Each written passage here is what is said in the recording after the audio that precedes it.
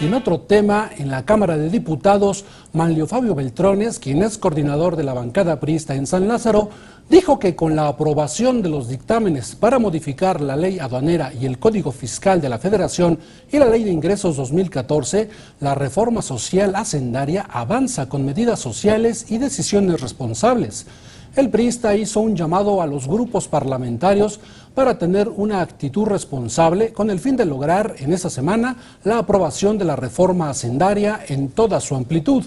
También afirmó que la fracción del PRI seguirá trabajando en acuerdos legislativos adicionales que permitan construir la mayoría calificada requerida para la aprobación de las reformas constitucionales que establecen la pensión universal y el seguro de desempleo.